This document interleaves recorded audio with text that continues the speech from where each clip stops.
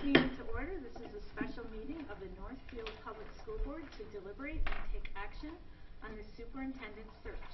Today is Tuesday, April 5th, 2016, and the time is 8:59 PM. We'll begin um, first with Dr. Charlie Kyte um, will um, provide the board a brief recap on the search process to date. Okay, well, thank you. Um, just, just uh, very quickly, um, met with you several weeks ago. Uh, as a board, we talked about a possible two-phase process. First phase, uh, advertising internally, seeing who's, which candidates came forward, interviewing them, and then if uh, necessary, going on to a second phase. Um, in the intermittent time, I, uh, I did meet with uh, quite a number of focus groups. Um, everybody from uh, students, secondary teachers, elementary teachers, community groups, parents, the leaders of your um, uh, charter and parochial schools, um, support staff. I'm pretty sure I'm forgetting one or two. Uh, there were a lot of meetings, but based on all of that, we uh, built a, uh, a profile. Or first of all, let me say, first, based on that, we summarized all the feedback we got from all of those groups. Secondly, we ran an online survey. We had almost 400 respondents from the community responding to that survey. Taking all that information, we put it together into what we thought the community writ large was saying, this is the profile of what we want for a new superintendent of schools.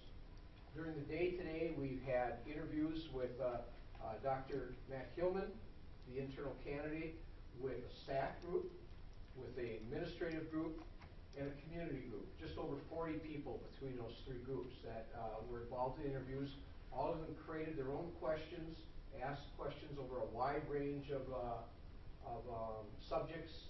Uh, at the end of those, uh, each of those interviews, every, uh, every person in the interview teams wrote a, a feedback summary, which we copied and gave to you. So you've all now read about 40 sets of feedback, and you also had your interview here tonight. So at this point, it's, uh, it's your job to decide what you want to do next. Okay. So I'll turn it back Thank over you. to you. Thank you. Okay, so board members, I'll open it up for discussion um, with uh, comments regarding the search process or the candidates as we move forward.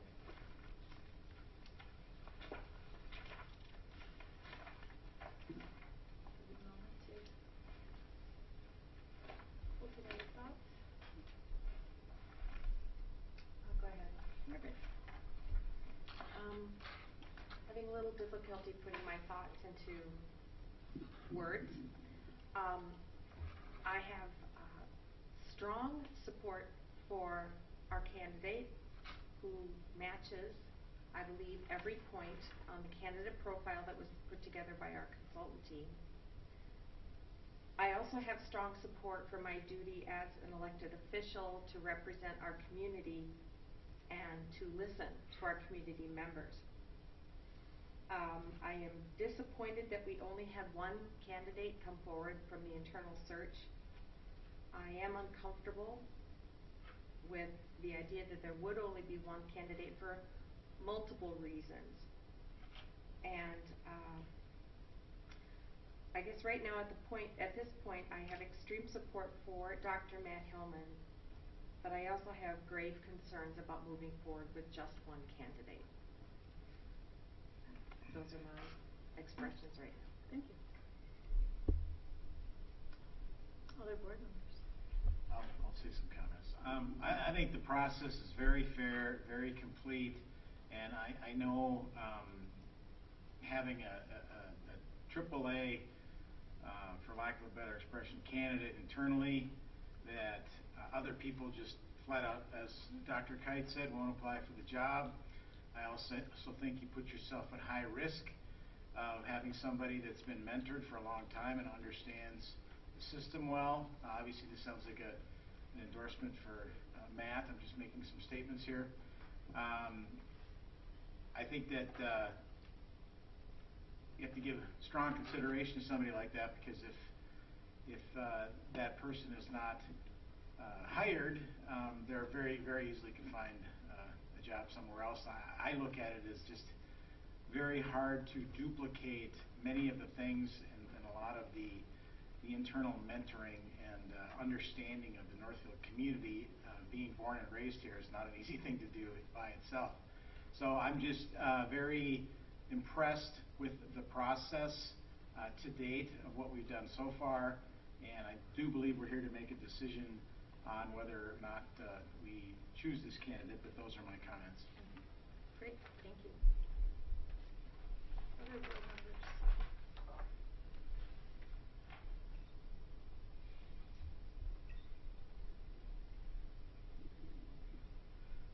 Um, Rob? Um, I think that when we, we looked at the, the profile was developed without a specific candidate in mind. Was just, what are your, your, what do you want out of a superintendent? What are the characteristics of an outstanding superintendent? Um, it seems to me, looking at all this feedback, that comparing it against that kind of general objective standard that almost everybody says that Matt Hillman meets that profile. So just at a sort of having that general standard, I think that that comparison is important. And I think that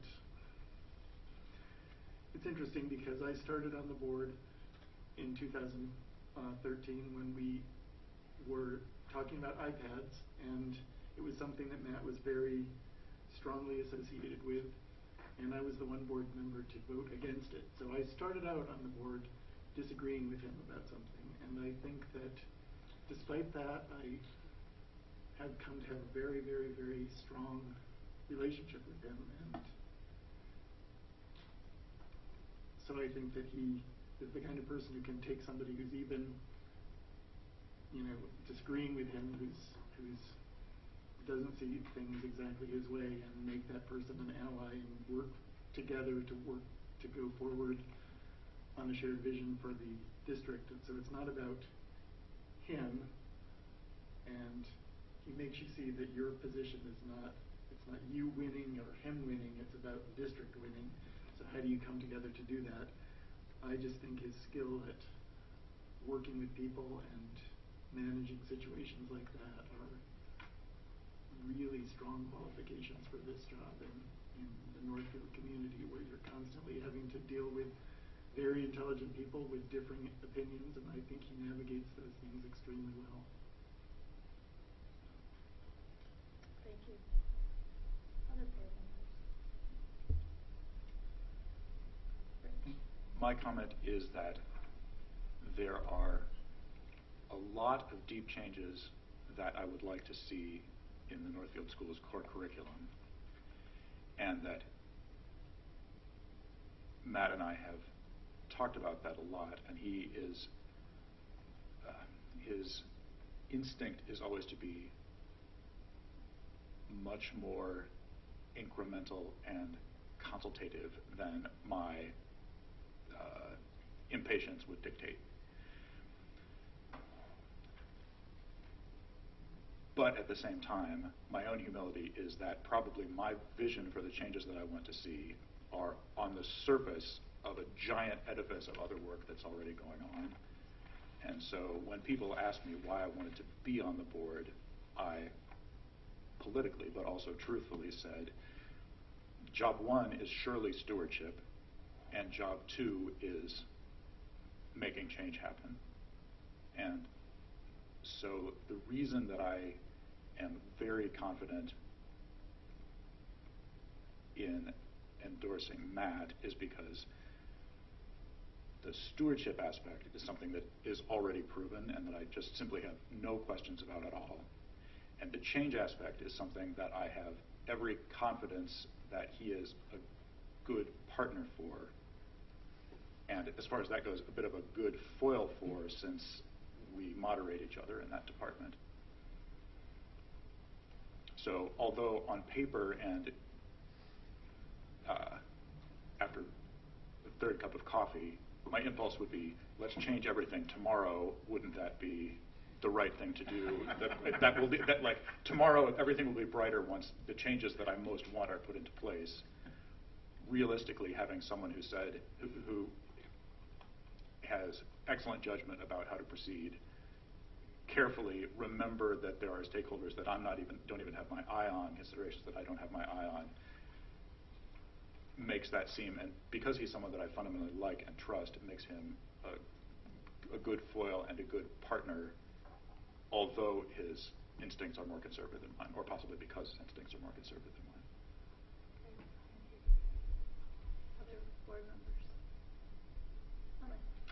Sure. So, um, I thought maybe I'd talk a little bit to the, the process piece too, because I've been on the subcommittee and certainly have listened to and um, talked with community members.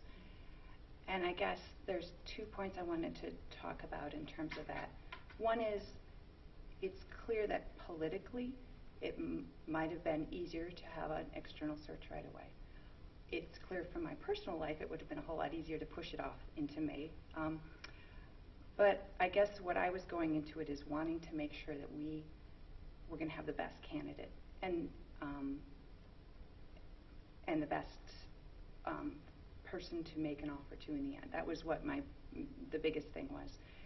And thinking about this process is making sure, you know, if we had gone external, we, you know, we don't know what that would have looked like, but I wanted to really feel confident that what the approach we meant, that in the end of the day, I would feel like we hired the right person.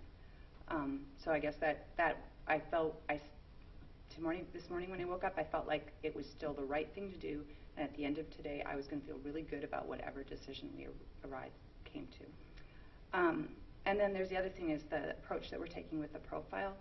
Um, and as an evaluator, I'm, my job is to make a judgment often, and you can do that by having a number of things and ranking them. And when you have a suite of candidates and have done, having done a lot of hires, you're doing this norming thing. And the other thing is where you have this sort of profile where you're looking at a piece of work and you're looking at it in terms of a rubric. And so I'm really comfortable um, with, you know, sure, maybe we would have had multiple candidates. I would have been fine with that. But I'm really comfortable making a judgment, looking at one and taking a look at a profile and being able to make a judgment. So from my perspective, I, I'm comfortable with that. So that, that's just a personal preference. And so then the last piece, moving from process to the candidate, um, I'll just say that I asked the first question about vision, and I wasn't quite sure where that about the response, and so I had picked one of the community members had a question, and I had that ready, and he blew me away with the, his his the last response. And I'll just say, if I had gone into this with any pieces that I really wanted to learn from Matt, I I've seen his leadership, I've seen how he builds trust, I've seen how he makes mistakes. I've seen situations where I haven't been as comfortable with a situation, but I've been very comfortable with his approach. What I wasn't sure about was his vision. I'll have to be really honest, because he he's all about we, and he's very supportive of Dr. Richardson. And at the end of the day, I wasn't sure what I was going to hear from him, and he blew me away with his last response. I think I felt really good about his vision, the ideas he has. Um, we heard a lot from the comments about addressing mental health, and I really appreciated Margaret's question. Um, so I guess um, I feel really good about um, the candidate we had today. Great, thank you. No? You're up. It's, it's really been a wonderful opportunity for leadership, and I'm glad that I wasn't denied the opportunity at the last election. Part of what makes this such a wonderful community and an opportunity is what the process we use touched so many areas. And uh, we had so much input. And I read all the information, and I really thank people that provided us with all that information, with their ideas, their insight. Um, I, I want to. I too was a little concerned about having one candidate. Uh, I was hoping we'd have more, but you can't. My dad would say you can you can lead the horse to water, but you can't make them drink. And if the can- other candidates or the other possible uh, people didn't want to sign up for the job, so be it. Um, but I had an interesting experience in my business career, and, and take a moment. I, I interviewed. I, I'd been facility manager for about five years, and I needed to fill a position of mechanical engineer. And so I interviewed the fourth candidate. He was a retired gentleman who had sold his business of 42 years. Uh, about a year earlier, he'd finished up all the to-do lists in the house, and he was looking for something to. And so I interviewed him. He interviewed extremely well, and I got done. He said, "Do I get the job?" And I said, "No, I got eight more people. Or I, I have uh, five more people to interview." He said, "Well, in my 42 years of experience, let me share with you what I have learned." He said, Certainly, we need the usual things in my business. I needed technical skills, and I needed experience, and a good communicator, and someone who could help build my company to a higher level than it is now. I needed all of that. But I also then went back and I looked at my own criteria, not only what personnel sent through, because then I was just choosing from the, all the eight candidates or nine candidates, but he said I used my own person criteria.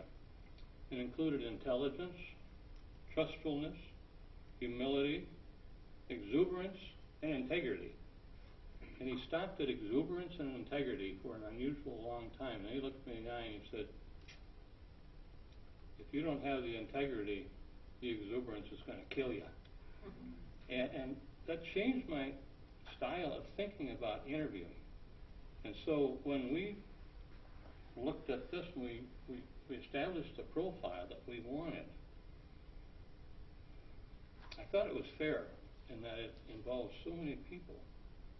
We do need somebody with proper education, administrative experiences, and skills, and able to communicate at all levels, worthy of our trust, but intelligence, humility, and exuberance, integrity. And I listened to Dr. Hillman, and I think there's a man that I think match and meet all of those requirements. So uh, I've observed Dr. Hillman doing iPads and negotiations, and uh, he, he, he's been an exemplary role model in every case. Uh, not without some faults, which he admits and said I could do better next time. But uh, I've observed him in numerous situations, supervisory situations as well. And I believe he possesses the talents that he needs. And I certainly support Dr. Hillman for a position of superintendent. Okay, so um, I'll just conclude by um, thanking um, board members for, for your views and for the discussion and really for articulating your views about the process and the candidate. Um, I think we've all recognized that hiring a superintendent is one of the most important, in, in my view, single most important responsibilities we have as a school board. I also appreciated the importance the board placed on um, having our district stakeholders not only being informed of the process, but also taking an active role in the hiring of our next superintendent. So for me, again, as a member of the, the search subcommittee, um, even prior to that, the, the process for me began with my own reflection of what I have learned over the course of my seven years on the school board. And during this time, I've come to have an appreciation for the great source of pride our schools have for this community. Northfield has high expectations for their schools. Our district's mission statement, which in part states that we will deliver educational excellence, acknowledges our commitment to this community. It was this, with this knowledge that I supported the decision to begin the search internally. By looking first within the district's own ranks for their qualified can, for qualified candidates, I would have the ability to determine if, during their tenure, they had gained an understanding of our community's high expectations for its schools, and that they have consistently demonstrated their commitment to a culture that fosters educational excellence. In my mind, these are essential in order for our next superintendent to be successful in moving our district forward. And lastly, as we've all pointed, the new superintendent profile that was developed, it was essential that an internal candidate would be a strong match. So as we moved forward in the process and, and Dr. Hillman came forward as the candidate, candidate, I was able to reflect on what I had learned about Dr. Hillman from my firsthand experiences over the past seven years. that he's a dedicated administrator who has proven himself time and time again to be an excellent communicator, skillful in dealing with the most difficult challenges, as well as a passionate and dedicated educator whose goal is to serve all of our students to the best of his ability. I share Ellen's comments. What I didn't know, however, before tonight's board's interview of Dr. Hillman was his under, was the understanding of his vision for how to move our district forward. Having heard that, I believe that his vision, combined with his his length and depth of experience, his key understanding of the community we serve, and his demonstrated commitment to excellence is why, without reservation, I fully support him as the next superintendent of our schools. So, we've all weighed in. Is there any other discussion people would like to have? So, um, with that, if someone is ready to move forward with the motion? Motion. Okay.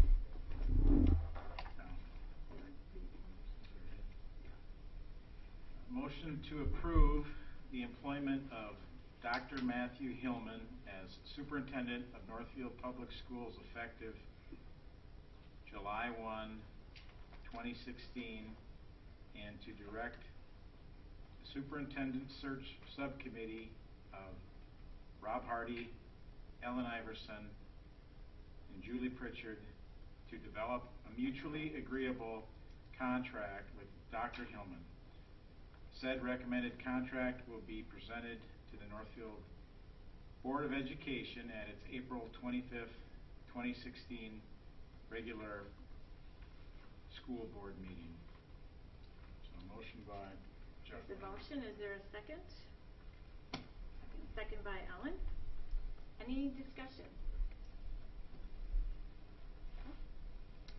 All those in favor of the motion say aye. Aye. Opposed? Nay.